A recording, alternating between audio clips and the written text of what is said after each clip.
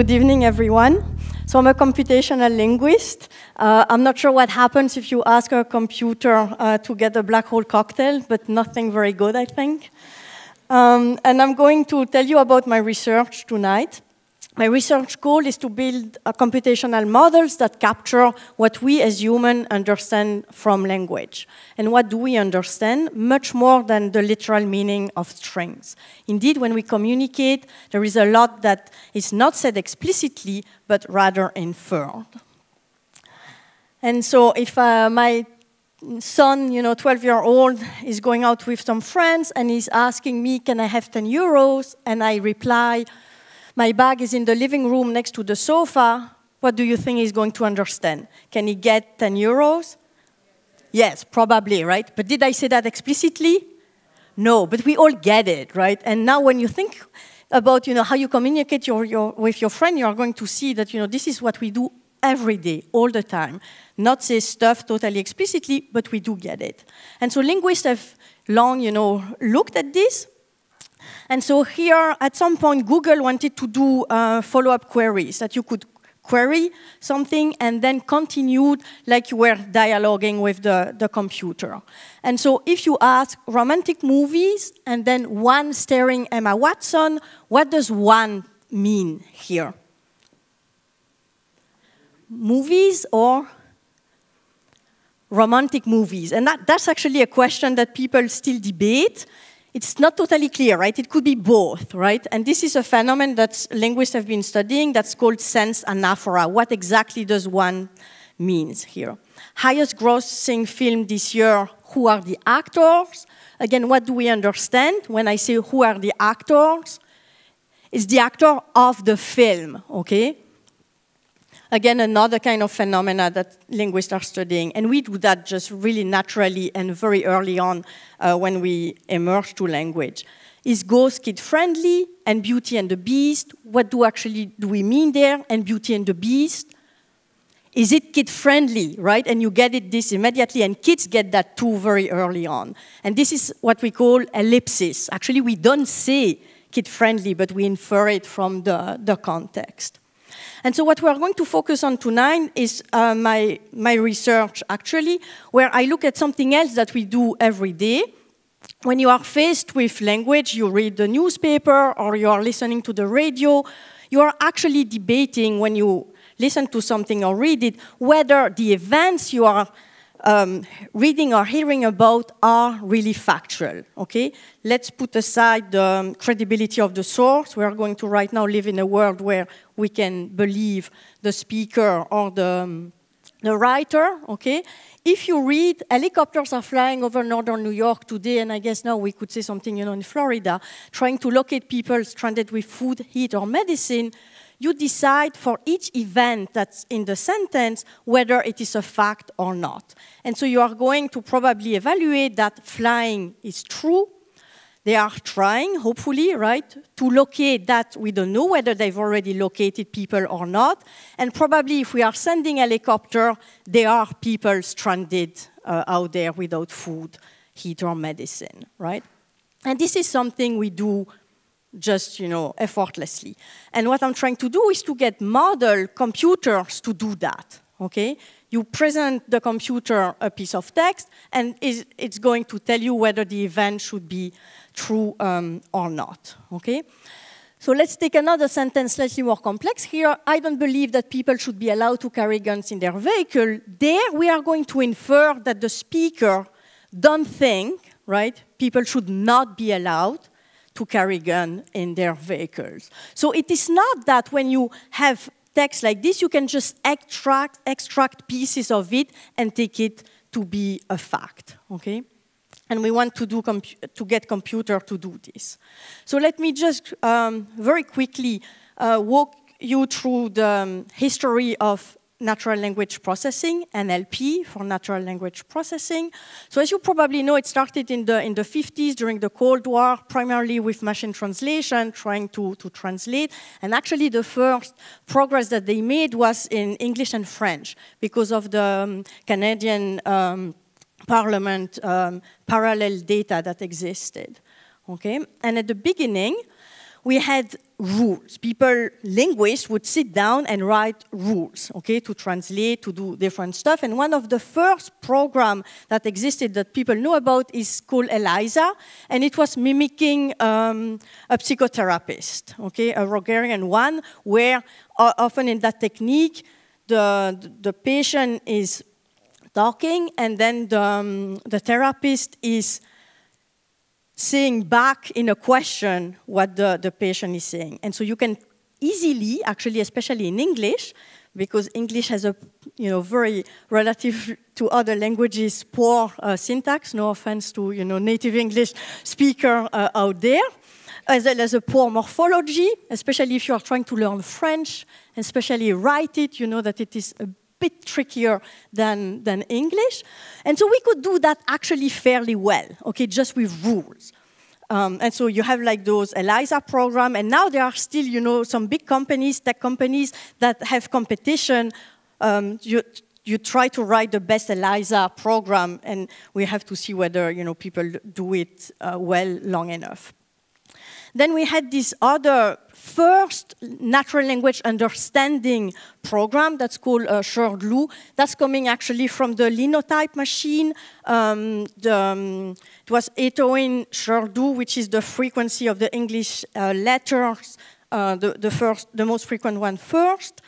Um, that's where the name comes from. This has been invented by um, Terry Winograd at MIT at the end of the 60s, where you had a very small block world that the user could interact with a computer to do stuff. And so it could, you could really, it was not um, oral, you had to type, but you could say, pick up a red block, and it would pick a red block. And then you had to say, the computer would ask, what do I do?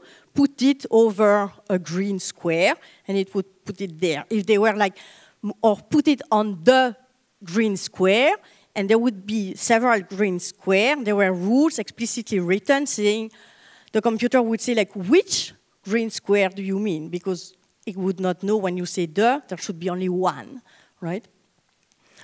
So that was, you know, 70s. And then um, we had like grammar that people could also write rules and be able to parse, you know, say what is the structure of the sentence.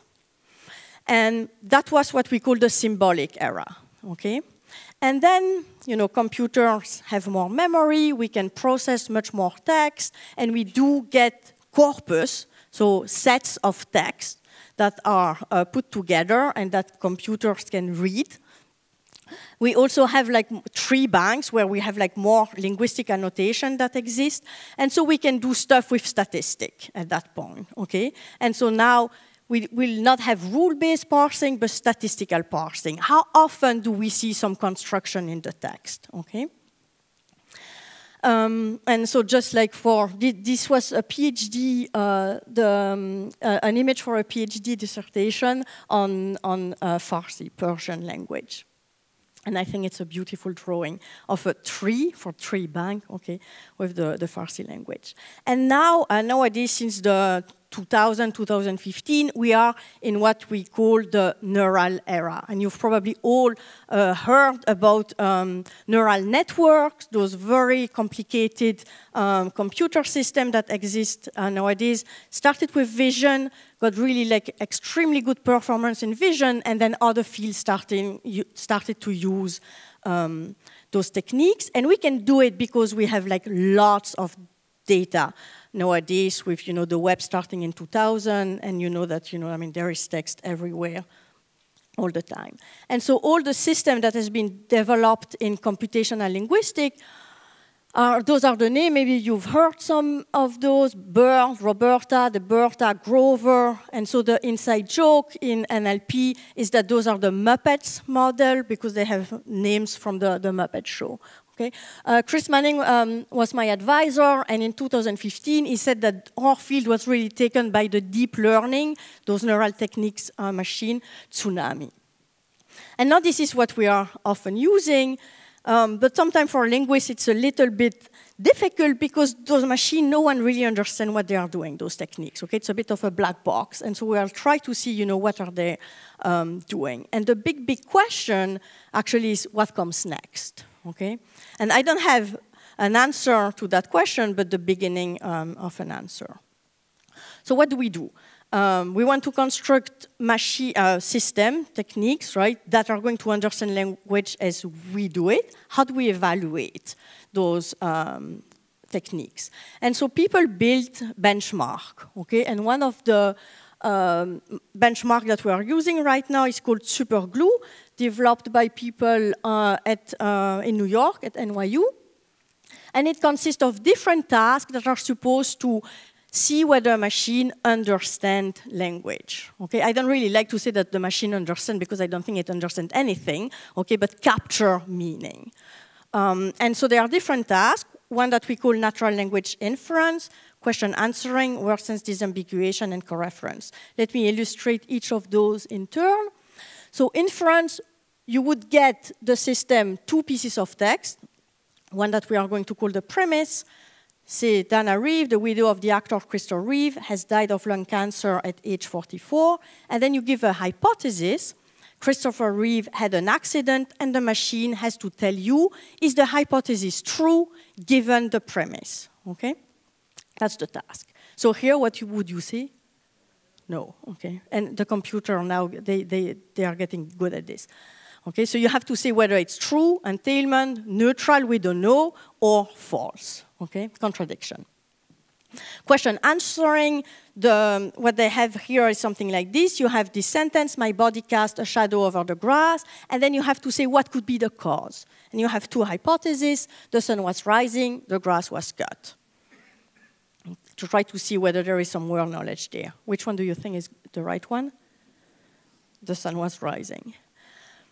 Um, word sense disambiguation, um, you would have two sentences with the same words, um, men of, you know, uh, with morphology not taken into account, room and board, he nailed boards across the windows, and the system has to say whether those are the same words in terms of meaning. Okay, are those the same words in terms of meaning? No. And then co-reference. This is again something we do all the time.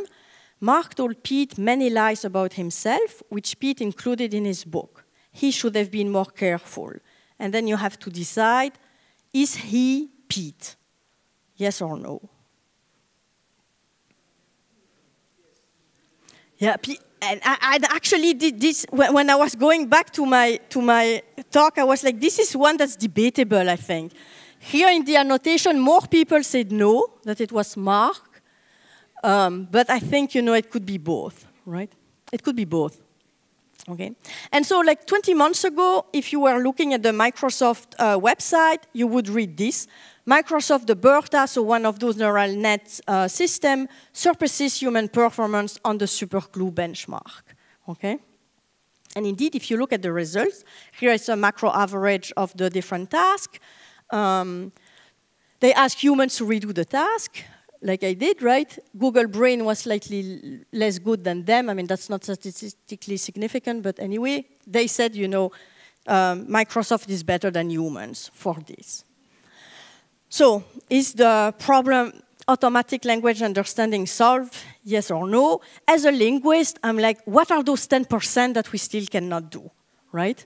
And, you know, most of those things, okay, maybe uh, humans are not that good, it seems, on the surface, but if you really look at the data, which linguists love to do, okay, the computer is actually much better than the humans only in the case where there is lots of text, okay? And, you know, how are we doing this? Uh, asking students to take, you know, some stuff for credits, right? I'm not sure how much they pay attention, or you pay crowdsourcer people out there, but again, right, it's not clear how much they, they pay attention. If you look, for example, at the task of um, word sense disambiguation, humans are extremely good. Okay, co-reference also. And machines are not that good. So what I wanted to look at is this problem of factuality that I mentioned at the beginning. When you are faced with a piece of text, do you, um, how do you evaluate whether the, the event is true or false, okay? And I did that with um, BERT, one of those systems, which if you want to know what it stands for, it's here, bidirectional encoder representation from transformers. I'm not going to try to explain to you how those machines work, okay? Uh, I'm just going to show you the results, and then we are going to analyze those results uh, together. And why can we ask that question? Because we have tons of text nowadays that are annotated for factuality. One of the problems of those machines, those neural nets, is they are really data hungry. And that's a problem. So the idea is that it's some kind of neurons, a bit like our, like our, our brain function. But the problem is that right now, the system that exists out there, they are trained with millions of data, something that you would not be able to read in a lifetime, even if you get to 100 year old, right? So we cannot really say that they are learning like we do right now. Um, so we have those different texts uh, here that exist. I will show you the data size in, a minute. Um, and we ask people, I mean, when I say we, others also, right, um, ask people to annotate the, the events in those texts between a scale, a continuous scale from plus 3 if it's true to minus 3 if it's false, okay? So for the rest of the talk, we are going to have that in mind. I'm going to show you scores of factuality that will range from plus 3 true to minus 3 false. And what the um, data set on the right have um, in common is that they focus on what we call embedded event. So you have a main verb and then some other verb under that verb, okay? Embedding, you've probably done that in a syntax when you were a little kid, right? What's the complement of a given verb? I say that, uh, it's too bright here, for instance, right? It's too bright is the complement of I say that. Okay? So you are still with me right now? Okay. So um, and here is one of the data sets that I, I, constructed with some of the students. And as linguists, we wanted to kind of have some stuff that is slightly tricky for the machine. Okay? So we are going to have some context, and each of the items that the computer is going to see is some event that we want to assess the factuality of, embedded under a verb, okay, that's always going to be bold, bolded in my slides. The stuff that we want to assess the factuality of is going to be underlined, and it's going to be in um, under a negation, a question, okay, some um, some other linguistic stuff, if you want, okay? So if you read this, at the heart of the universe there is cruelty. We are predators and are preyed upon every living thing. It's a bit sad. Did you know that wasps lay their eggs in ladybird, piercing the weak spot in their armor? People have to evaluate the factuality of that on this scale from plus 3 to minus 3, and all the annotators said, like, this is true, okay? Even though it's under a question. And so this is something that um, linguists have long, you know, studied. If I say Judith knows that Marie is in Brussels, you are going to get this complement, Marie is in Brussels, to be true. Okay? If I put that in a question, does Judith know that Marie is in Brussels? You still evaluate Marie is in Brussels to be true. Right? If I put that in a negation also, Ju Judith doesn't know that Marie is in Brussels. We still get Marie is in Brussels to be true. And so, yeah, you see, uh, linguists have looked at that. You know, the first one, looking at those kind of verbs, called them uh, factive because they, you can infer the truth of the content of their complement, and that was Lauri Karttunen, who is a, a very well-known uh, linguist. Now, if I change verb and I use believe, the behavior is going to be different. Judith believes that Marie is in Brussels, then we don't know, right?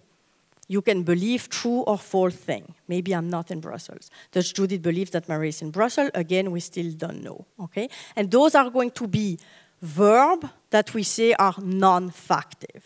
Okay, and so linguists have categorized those verbs, and so there is a lot of what's going on in factuality that is lexically triggered. Okay, that depend of the kind of word around the event. But then, of course, the context always plays a role. Okay, language is actually very tricky, as hopefully you know you will be convinced of after this talk. So if I say Annabelle could hardly believe that she had a daughter about to go to university, how we evaluate this? Do you think Annabelle has a daughter about to go to university? Yes, right? But I just told you that believe you can believe false or true things, right? But here we have like strong, strong intuition that this is going to be true, okay? And so context does some things to that categorization from the 70s, okay? And so here, yeah, most people said this is an average of 10 annotation, and you see most people said two or three, and so the average was something around, it was more than, than 10 annotation actually, otherwise it would be another number. Um, this, this was the, the example that I showed you before. I don't believe that people should be allowed to carry guns in their vehicle. Here we have a strong intuition that um, people should not carry gun, right? And so a, a negative score.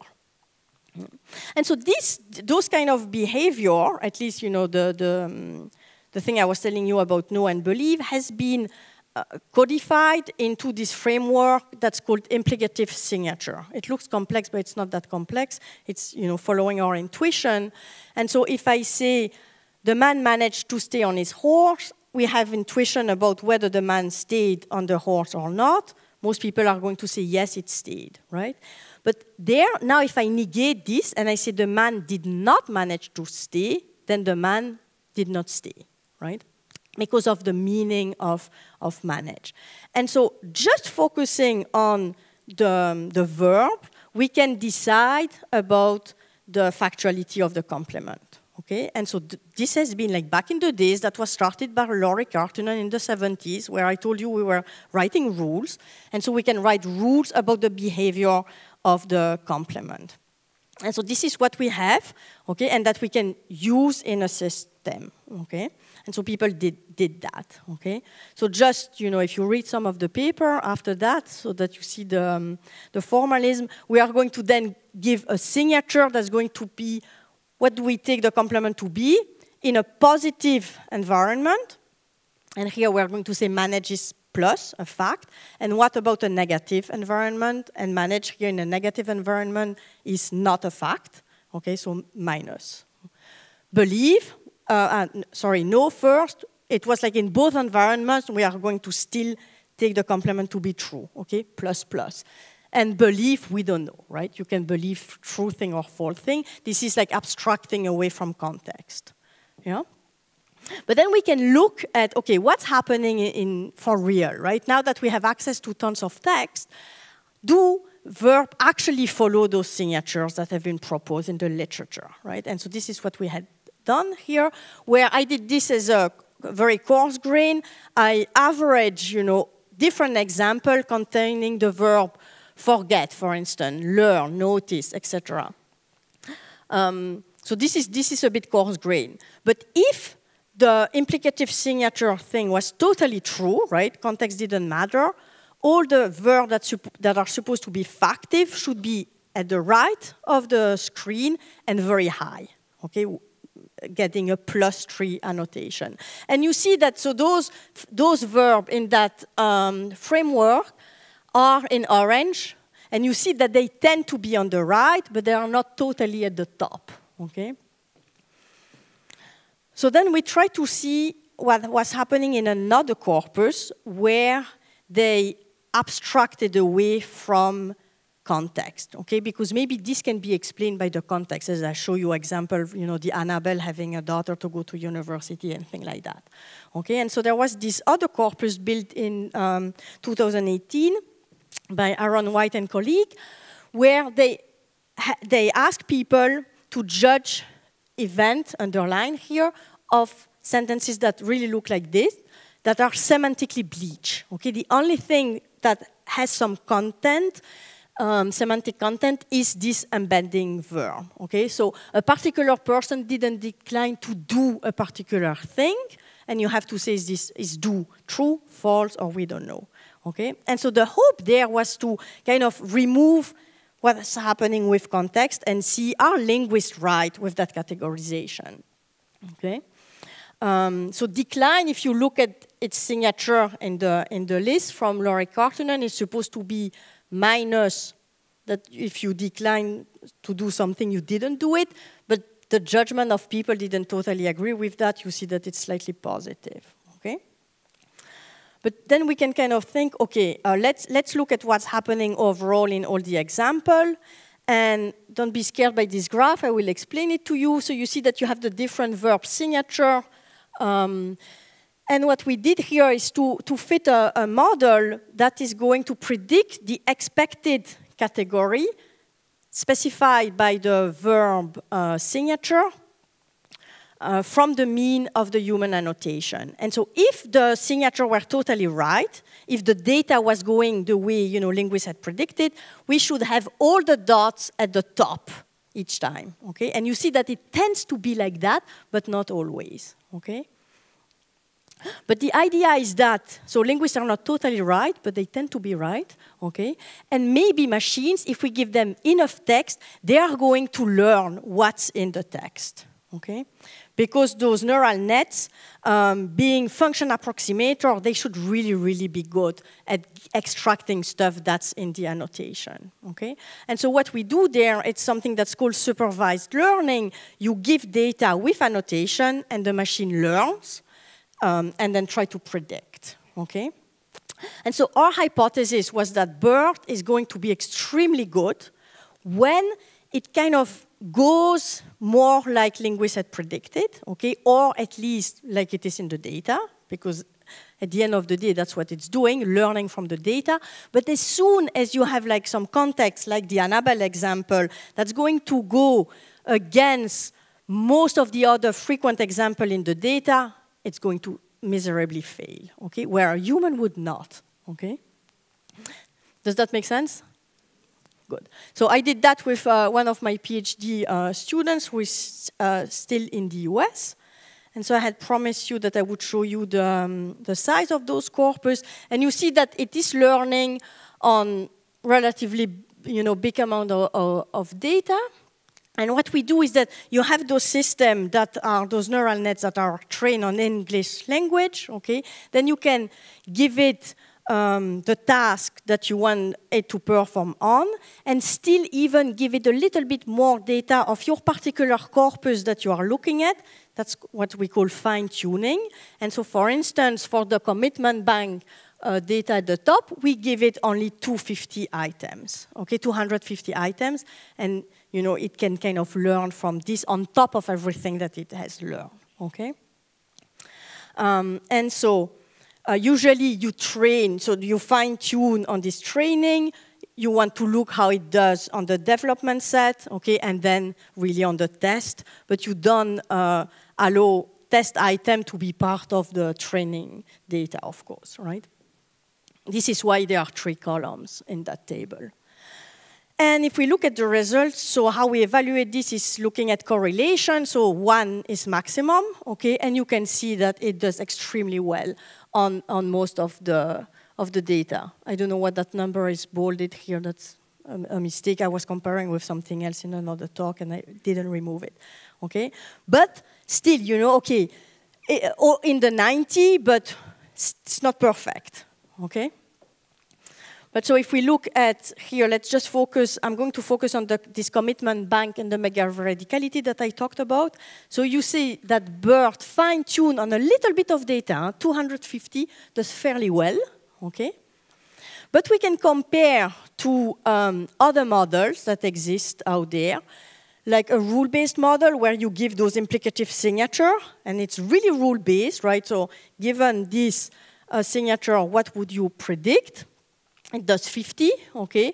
Um, in 2018, Rachel Rudinger tried to have other systems which are BiLSTM, uh, slightly different configuration. I'm not going to enter into detail here. And you see that it didn't do that well.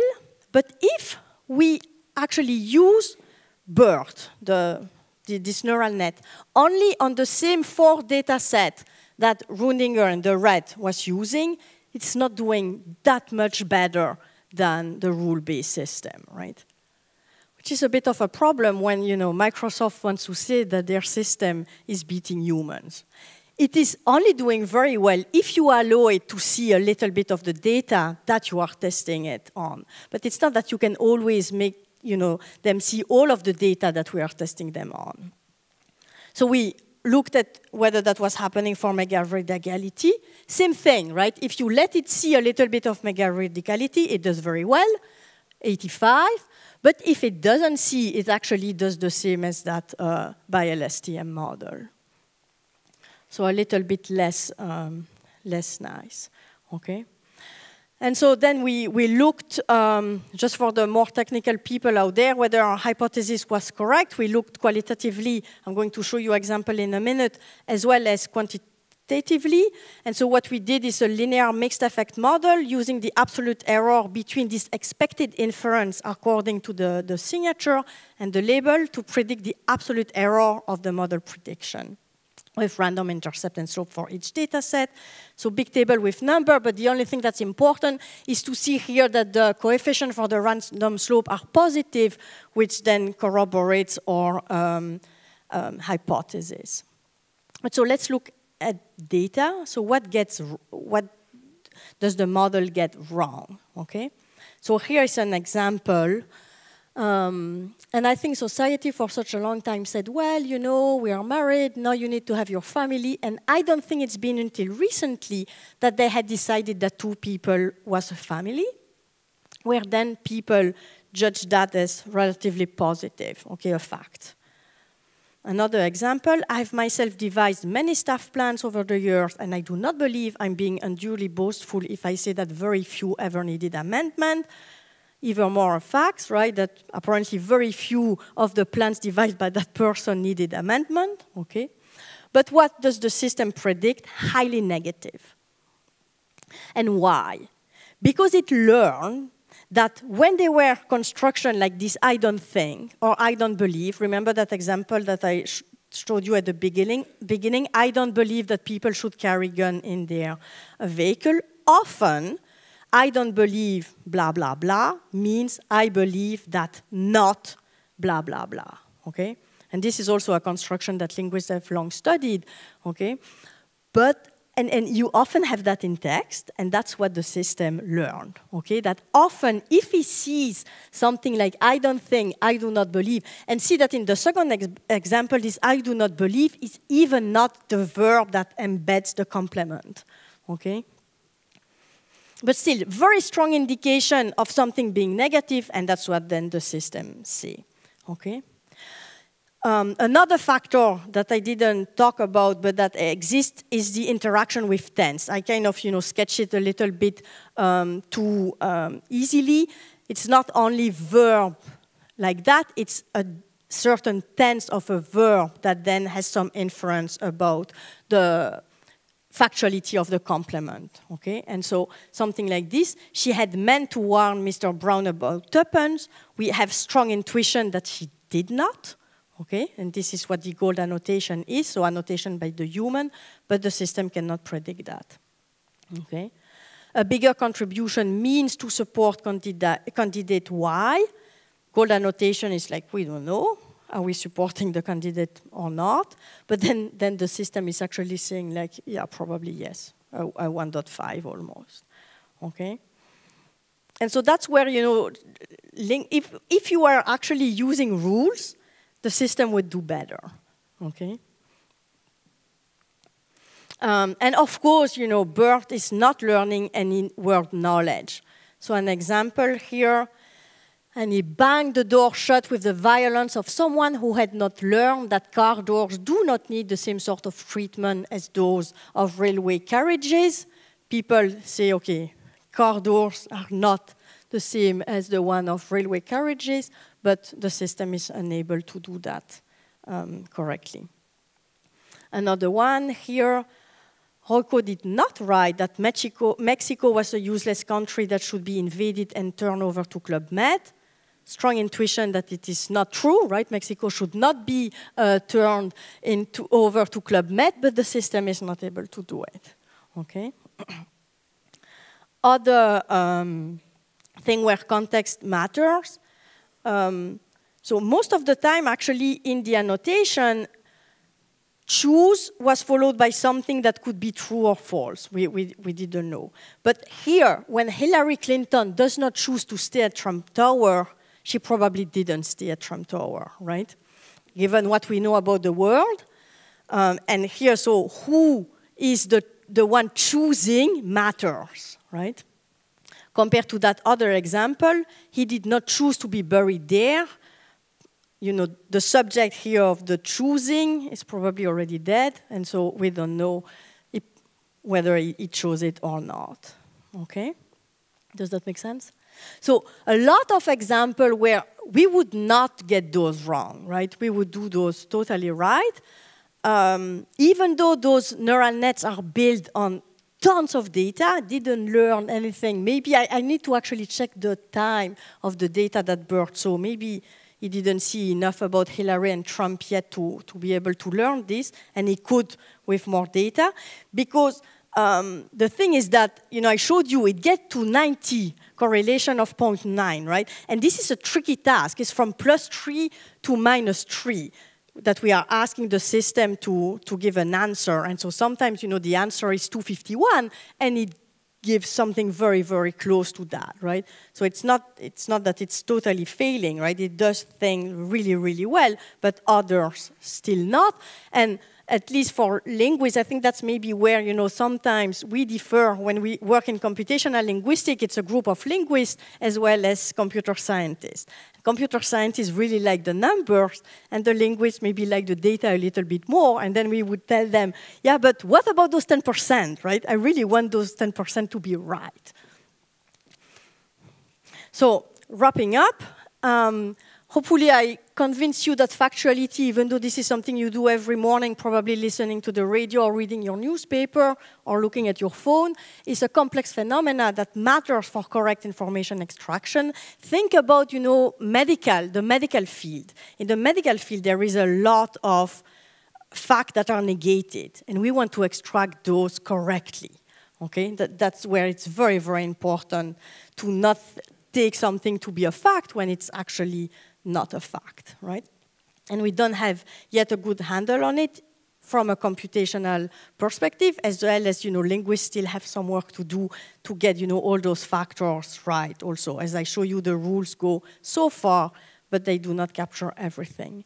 And current neural models are not capable of processing language the way humans do, though they are, they are pretty fascinating, right? And so if we look at the, um,